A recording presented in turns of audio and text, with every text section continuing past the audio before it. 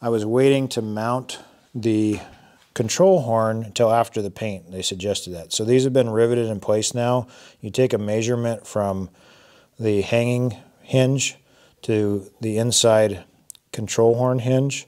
That has to be measured and you also want to measure this to your other hanging hinge. Make sure those are the same. Um, and then rivet it. There's a little bit of paint work that needs to be done in there. Um, this one actually needed to be pulled out, so that needs some paint, and I scratched it, so I had to sand that down and paint it. So it's good it's going back in for another coat because there's a bunch of areas that need to be touched up on them. But the flaperons are, are done, other than that coat of paint, and they are ready to be hung. I went ahead and mounted the hinges on. I gave you guys that pointer about doing these um, back rivets, but they're all in, they're all done. Um, so we'll get that turtle deck knocked out tomorrow, get that done so we can put it up because um, it can't be on while we're folding the wings. And we are going to be folding the wings quite a bit to get to the fuel gauges and wiring and stuff like that.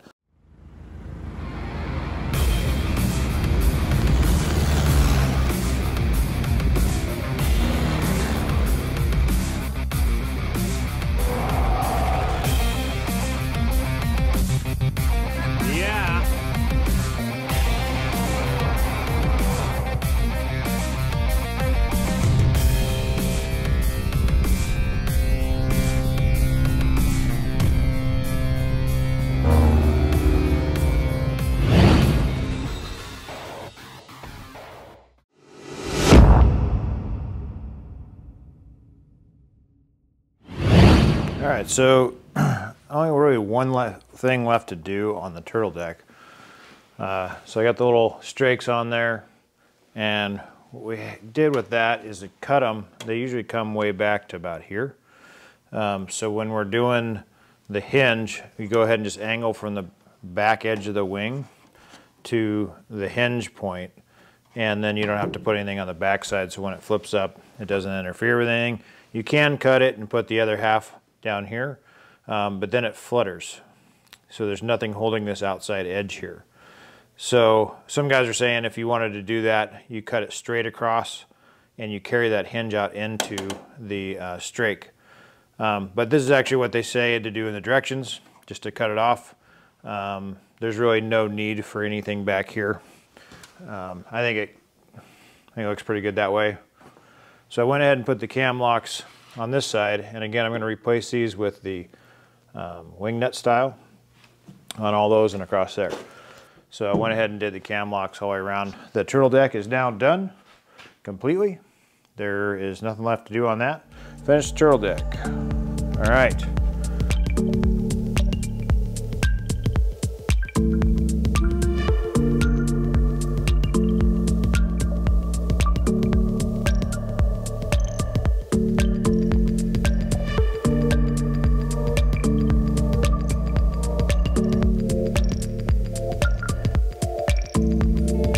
Doing these butt rib closeouts.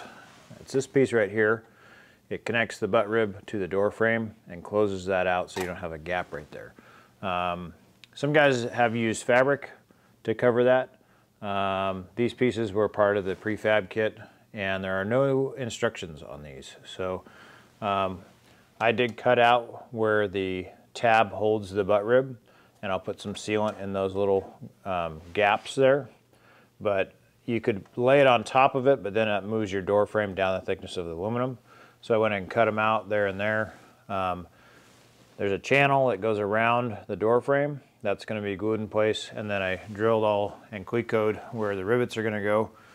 So it's all fit now. I'll pull it back off, clean up all the drill holes, um, deburr them, and then mix up the glue to, to glue the channel onto the door frame.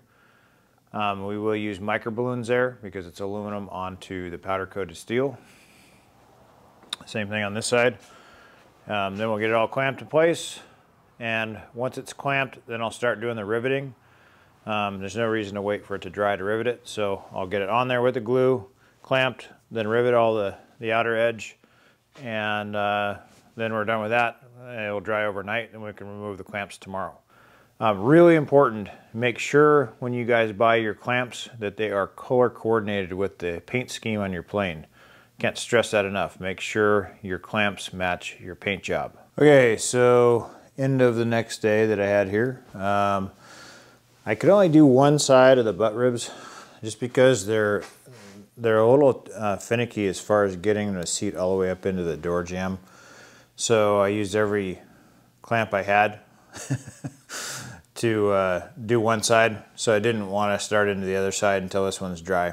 But this side's done, it's just drying. So it's all clamped in place. It's also all riveted to the butt rib. So that one will be done. Uh, then I can put the hinges on and then the doors are, um, I'm not gonna mount the doors yet, but then the doors can go on. So what I still need to do is run the fuel lines up and the sight gauges on the wing so I can start in on that tomorrow um, while I do the other side and let it dry. So um, this one's all uh, drilled, deburred, I sanded the inside of these slots with uh, 120 grit to get some grip there for the glue.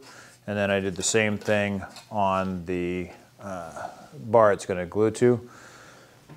Uh, I did use micro balloons on the other side. So I'm to pull all those clamps tomorrow, make sure it everything's seated properly, and uh, then I'll go ahead and do this. I got the uh, antenna properly mounted, so it was more than just putting the screws in um, the plate that's mounted, you got a lot of people ask about the grounding plane. The plate that's welded to the frame back here is what I used as the grounding plane as per the instructions on the RAMI antenna.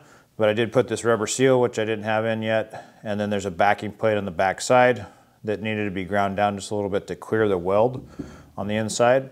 Um, then those have been fastened and then the, the coaxial line is run to it and zip line in place up out of the baggage area. So that was a little bit more time consuming than I thought it was going to be, but it, it didn't take very long. Antennas fastened, finished turtle deck. Um, soon to cross off these um, butt rib closeouts and OAT sensor will be done tomorrow. All right, so back at it here, uh, making some progress and um, some steps backwards as well. So the See that left side of the uh, butt rib closeout I've got in place. This is my outside air temperature probe. And it turns out this is a, well, it's not a GRT model. And so I've got that all wired up in here, mounted, and then I had to run a new wire to ground it. Everything's wired in, connected, but it doesn't work because it doesn't have the same signal that they're looking for.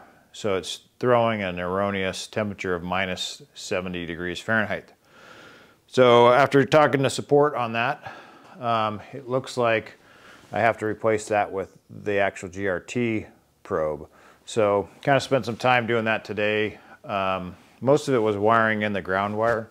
So that's done, it'll work for the other one. But then I'll have to cut that and redo the wiring at the actual unit when they send out the new one.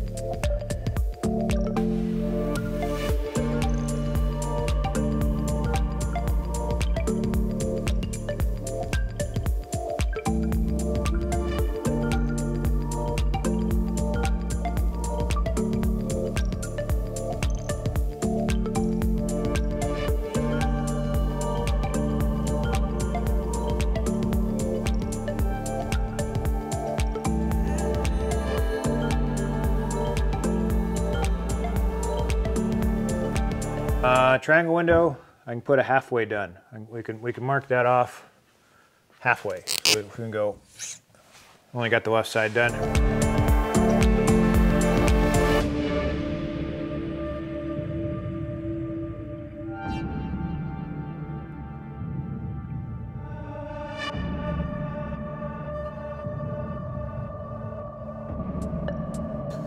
Okay, so We've warmed up to a brisk 38. Uh, expecting that snow um, starting at I think 8 o'clock tonight up to 20 inches. I think it's all overblown. Everyone's making a big deal out of it. We'll see. Uh, hopefully that doesn't happen because we know from two years ago when I brought the kid home that we can't handle snow around here because it's always wet and all these uh, live oak trees we have around the house they can't support the weight, so it creates quite a mess. But anyway, back to the build. Uh, the triangle windows are done, guys. And I went with the smoked tent, which uh, had to locate some. I had a friend of a friend who had some extra from doing his. So I got that. That will match the turtle deck and the windshield. All smoked along with the, the doors as well. It's to look so sweet. Just totally tented out with all the black trim and everything. It's to be so cool. So triangle windows are done. The method I elected to use was the adhesive uh, automotive style tape to tape them in. Um, to be honest, I'm kind of skeptical that that's to hold up long term. Uh, mostly from heat. It gets hot here and that will soften up a little bit. So we'll see how they hold up. Worst case scenario is you got to put some rivets in, which is what the alternative method is anyways. So I found the strongest tape I could find, double-sided uh, foam adhesive tape, is the Gorilla Glue. It's actually 30 pounds, so you could hang a 30 pound weight off of this tape. Um, it's twice as strong as anything else. Everything else is rated around 15. You know, I'll call it a night, but you know, it was somewhat productive day for taking off in the middle of the day for, oh, three and a half hours to go finish up the install on the orange and black carbon cub that was in one of my previous videos. I'll put a link up here on the uh, Beringer 10 inch install along with the Shock Monster gear. Um, awesome plane. Uh, just came out beautiful. So uh, we went finished that. Did the, we bled the brakes on that. So I had all the stuff out. So when I got back, I went ahead and just did the brakes on this too. Get it all done. And bleeding the brakes on the Beringer, I didn't film it, but super easy. You've got a really large uh, nipple down here. That's right, said nipple. It's much bigger than you see on a Grove wheel. It's actually the same size as the brake line. So when you pump that fluid through, you're clearing the whole brake line of air in one run. And then you just pop the caps off the reservoirs here, open the valve up on the bottom with a pressure tank, and let it filter through and you can see the fluid come in. And with the clear brake lines that I ran on the back side here, you can actually see the bubbles coming out. Pump them a couple times, stop, you know, stop the flow, pump them a couple times. Only fill it about a quarter full, pump it, then fill it about half full, see if you get any more air. Pump it again, and then fill it up to about a quarter inch from the top. Put the lid on, you're done. So you do left side, then you do the right side, and you're done. So honestly, bleeding the brakes took about 15 minutes. And you guys are probably wondering what I use for a pressure tank. Uh, we used to actually sell this at Beringer, but we don't anymore. But it's a uh, it's a power bleeder from Moto Motive Products. You pump the handle, and it builds up pressure.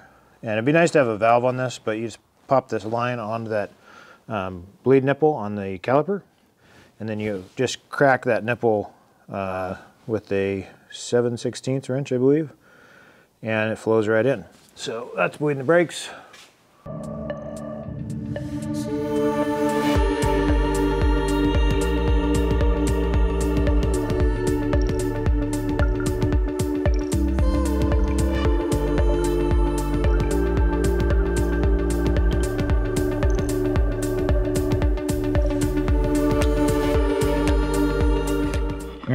Forgot to film this, but I went ahead and took the backing plates for the fuel sight gauge and I wrapped them with white vinyl.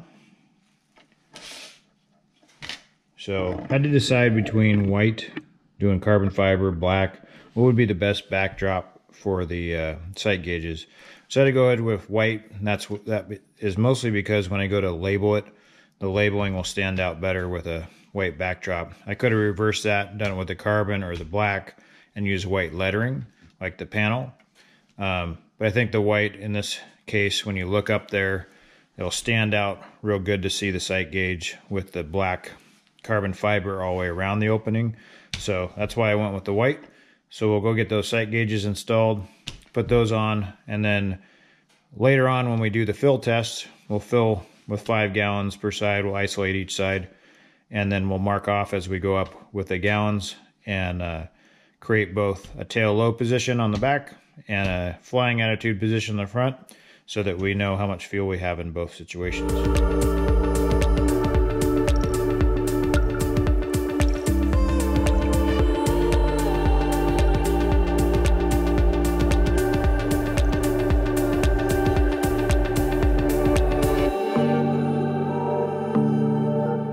Okay, so that's how it came out looking great.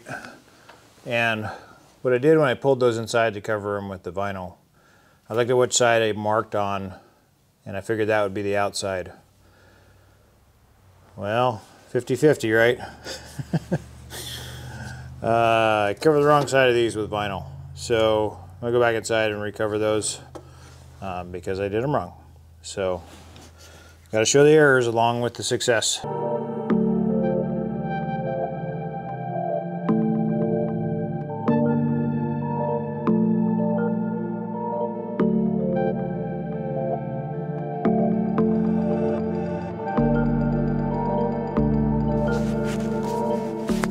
Snow situation's escalated just a bit. It's coming down pretty good.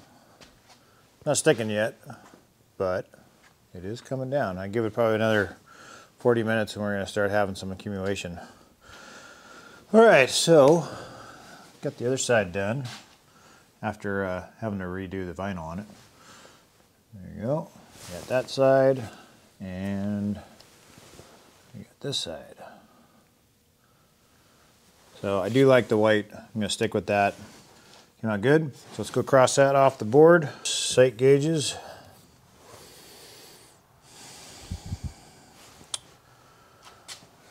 Let's do push to talk switches. We'll get those done. Um, I do want to put some of those Deutsch connectors that I used for all the lighting um, at the base of the control sticks so that they can be removed. It's not really that important on the pilot side because that one's not going to come out. For the co-pilot side, I found, especially with young kids, that I like to remove the stick completely. Um, or if you're going to have, let's say, a small dog or whatever. I don't plan on having a dog in my plane, but um, that way you can remove the stick, unplug the PT, the push to talk switch, and the whole stick comes out. And uh, it's a little bit safer for youngsters in there with the stick gone.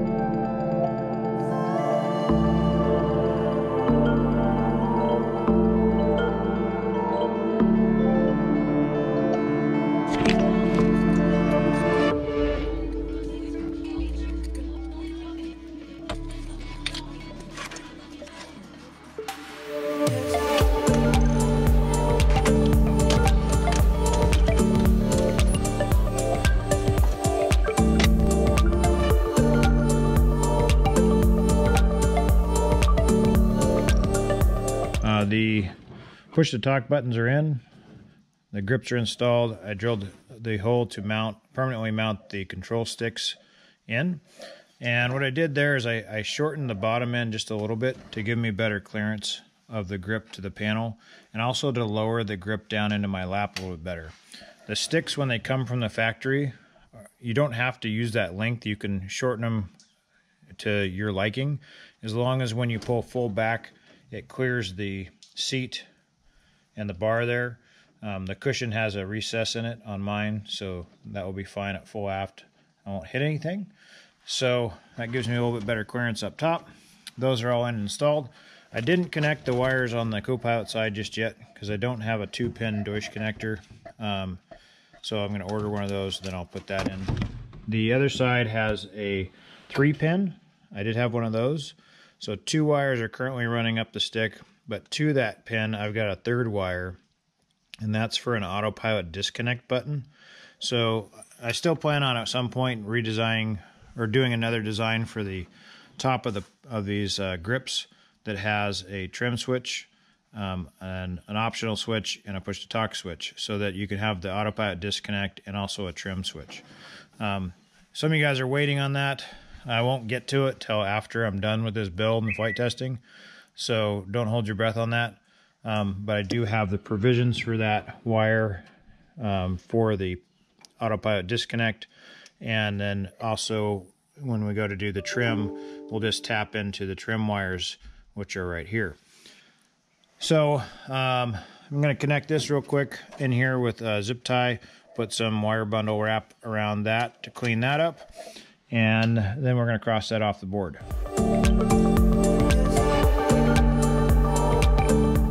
Alright, so I think I got everything on my list to date done. So the last thing was this GPS antenna mount. So I created a little piece underneath. It actually velcros in place. Then the antenna's mounted to it, and then I went ahead and put the suede on it. Um, I could have brought it up flush, but um, it would have just added weight to put the filler in there. So it's just Velcroed in, covers that gap real good, has the antenna sit down a little bit. So I think that worked out pretty nice.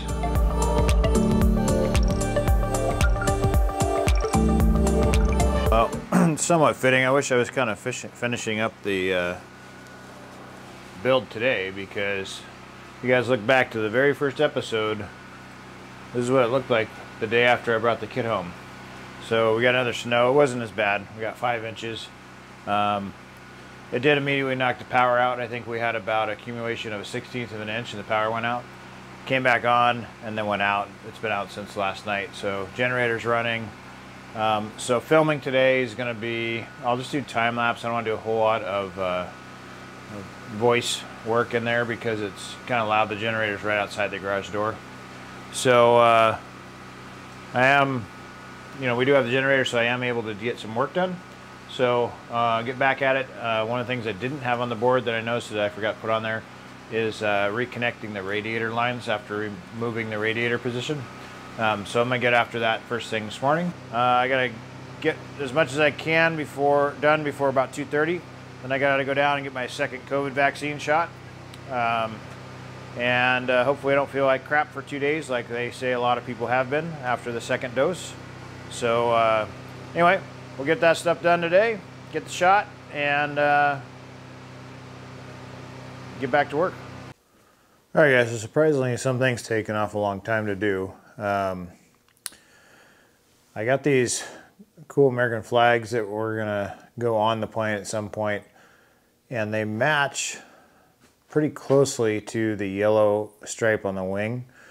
So I went to make the N numbers and I had vinyl in yellow to do those, but it didn't match. It's a, more of a cub yellow.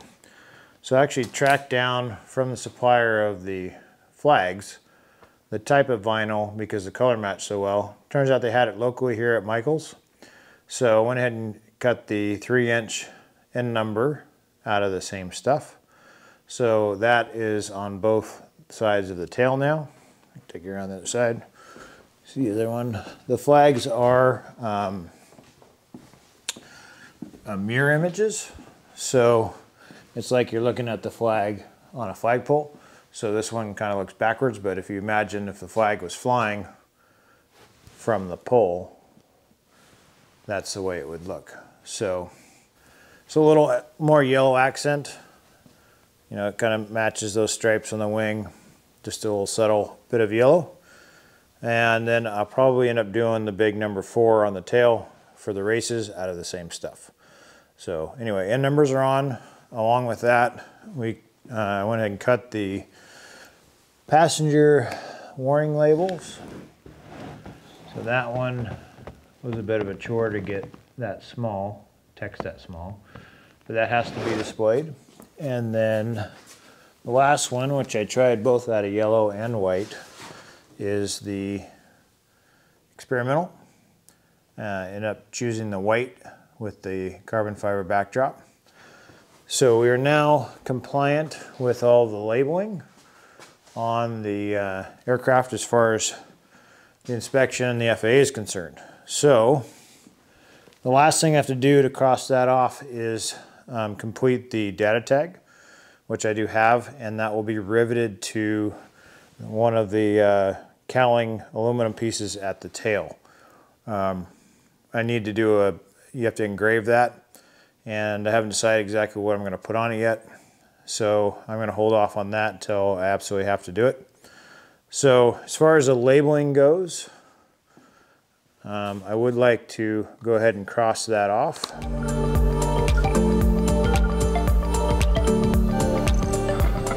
Alright guys, getting going this morning on the cowling.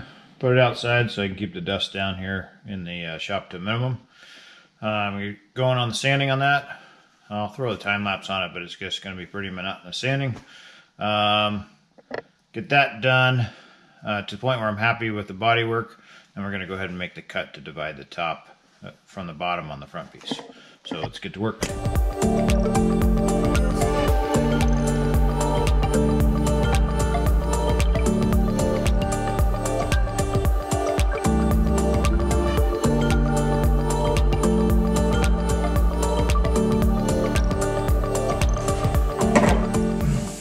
Marked off the division lines and again cut up and left about an eighth to a quarter inch ticks so that it's still connected. And now I'm gonna go inside and cut the carbon fiber in three inch strips uh, to use as the uh, the backing layer. And I think I did three or four layers last time to get that. I think three was what did it. Um, so I'll do the same thing and I'll packing tape off the upper portion of the cowl so it only sticks to the bottom side and then the top piece will be able to come off when I cut those ticks. We'll trim the overlap, put in the cam lock plates and uh, get this all finished up. All right guys, so I have been struck with the second shot reaction. Um, nothing real severe, just I'm really cold, can't seem to get warm. And uh, working out in the cold garage isn't helping that. Uh, I also got a faint headache and really achy body and, and very tired. They said it can be more severe of a reaction on your second dose and uh, that's what I'm having right now. So they say it only lasts about 24 hours. Um, the FAA has actually mandated that we can't fly for 48 hours after getting one of these vaccination shots. So um, it actually gave me part of the day off tomorrow because of that. So um, I'm going to recuperate a little bit here, try to get warmed up, and uh, if if I start feeling a little better, I'll get back out there and back to work. But right now, I'm just going to uh, gonna watch some YouTube.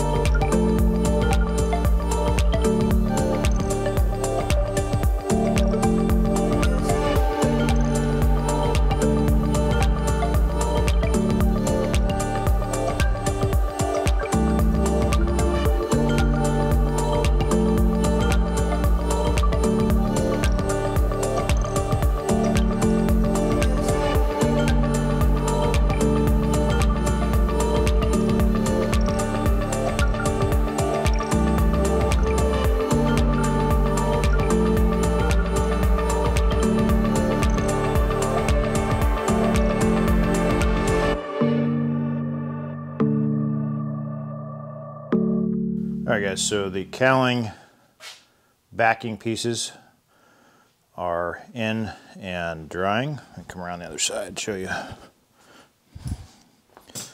So three layers of carbon down with the peel ply on top. It's as important to get your peel ply layer down tight, smooth, and no wrinkles as it is to get the carbon down the same way. Want to make sure it cures all the way around the corners and you don't get any wrinkles in there or it will accumulate resin. So that part's done. Um, I did use a fast drying resin, so it flashed already. You can see what happened to my mixer bucket. Apparently it's not resin proof. It totally blew out the, uh, the container. It's totally a mess. So, alright guys, so went ahead and pulled the peel ply off the carbon cowling. Went ahead and cut those nicks and pulled two pieces apart. So here's your piece. And again, what I did to make it not stick is I laid a piece of duct tape and then a piece of packing tape down over the top of that. And it makes a really good uh, barrier. And then, what you end up with is a nice, clear step to put the backing plates for the cam locks on. So I'm going to cut this to one inch so all the excess will be cut off. And then uh, we'll start placing those cam locks. So, know, pretty good. The key on the cam lock placement, don't want any on the where the spinner backing plate is going to be. So up front, we're going to need to put one right in this area on either side. And then on the sides, you want to come up pretty close to the turn so that it holds that turn down tight. But because it was laid up with the other piece, it will fit the other piece, the contour perfectly. That's why I do it that way. It came out real nice, so the only thing left to uh, modify is the bottom scoop to match the radiator. Um, I won't get to that till probably next week sometime, so I've taped off already. Okay guys, so what I'm doing now is I'm taking the kick panels for the console And I'm putting a little bit of Bondo on the bottom. So these sit in there like this. And the floor's got just a little bit of a bow to it. And these don't sit flush. The aluminum ones have never sit flush. And if you try to screw them down, it actually, it kind of distorts the aluminum. And it's never, they don't really fit quite right. So I'm adding a little curvature to the bottom. I'm to sand this out and get it all uh, finished off nice. And then I'll use this uh, for the template. Um, I've got some wood to make a mold out of it. And then we're going to lay three layers of carbon up over the top of this. So I'll get the body work done. Then I need to paint it, or wax it, and then paint it with a PVA um, so that the carbon will release. And uh, once that's dry, we can go ahead and lay the carbon. I got all the carbon cut and ready to uh, put the resin in and lay down. I just have to finish these up.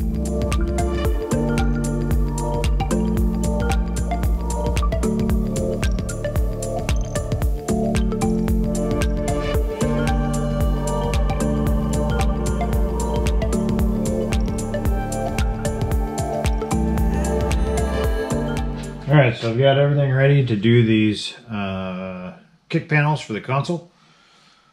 So I'm gonna cut some batting to match the uh, peel ply.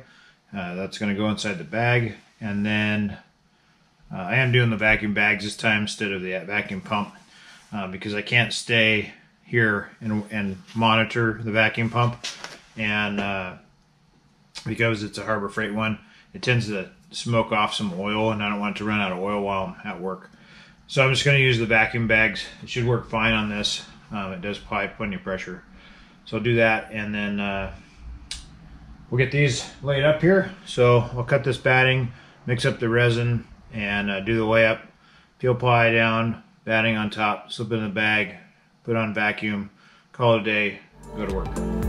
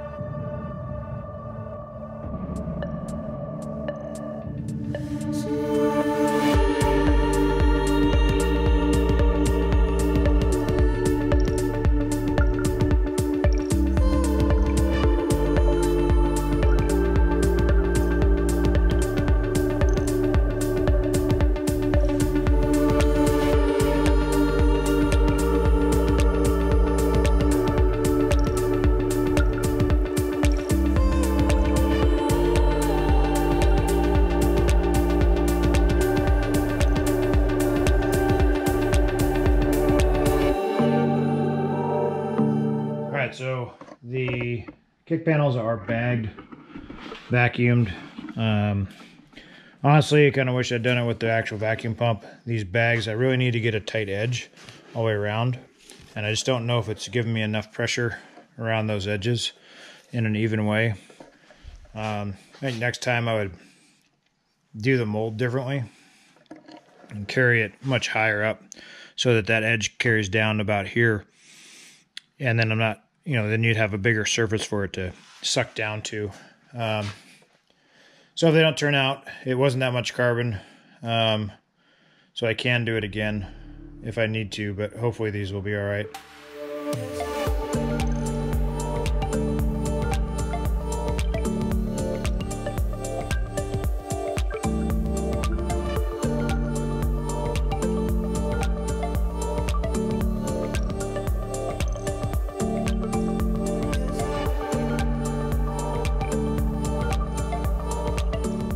All right guys, I'm gonna wrap this one up here. Uh, working our way through the list on the uh, whiteboard.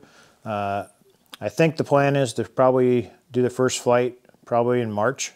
Um, it's end of very end of January, so it gives me about a month to wrap everything up um, and get the inspection schedule. We also have some family uh, obligations this month as well.